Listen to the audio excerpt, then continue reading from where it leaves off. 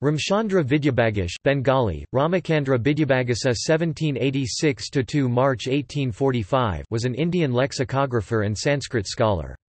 He is known for his Bangabhashabhidhan, the first monolingual Bengali dictionary, published in 1817. He taught at the Vedanta College established by Raja Rammohun Roy, and later at Sanskrit College from 1827 to 37. Closely associated with the work of Raja Rammohun Roy in Kolkata, he was the first secretary of the Brahmo Sabha established in 1828 and initiated Debendranath Tagore and 21 other young men into Brahmo Samaj in 1843. After Raja Rammohun Roy went to England, his unparalleled erudition and the devotional singing of Bishnu Chakraborty helped in the survival of the Brahmo Samaj.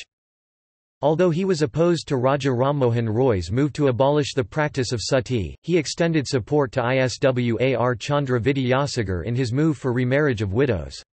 He spoke strongly against the system of polygamy, then prevalent in Hindu society, primarily amongst the Brahmins. He was associated with the Tatwabodhini Sabha and aimed at the advancement of Bengali language through it. He worked for some time on the government's desire to replace Persian by Bengali as language of the courts. In this he had the active support of both David Hare and Prasanna Kumar Tagore. He strived hard for the use of Bengali as medium of education.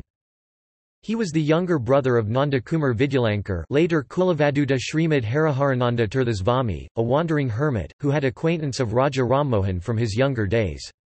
He was the worshipper of one true God according to the Mahanirvana Tantra.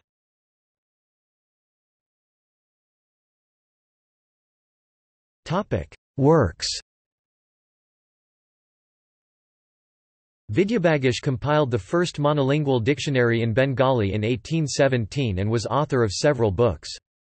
His works include Bangabhashabhidhan 1817, Jyotish Sangrasar Bikaspati Mishra Vivada Chintamani. Shishusbadi 1840 Barnamala Nitadarshan Parameshvarar Upasana Bishay Pratham Bhakian